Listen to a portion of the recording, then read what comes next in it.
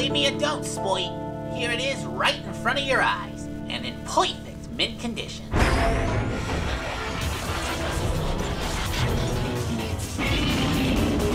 Holy shit, you could grind meat on those things! I am Optimus Prime of the planet Cybertron, guardian of the Allspark and commander of the Autobots. I have come requesting assistance in our most desperate hour.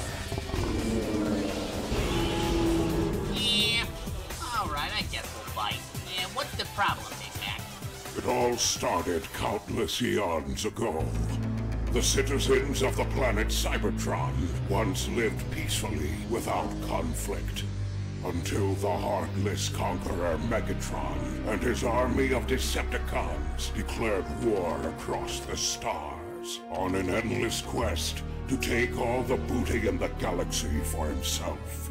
Completely disregarding the obvious fact that as robots, we have no junk to speak of.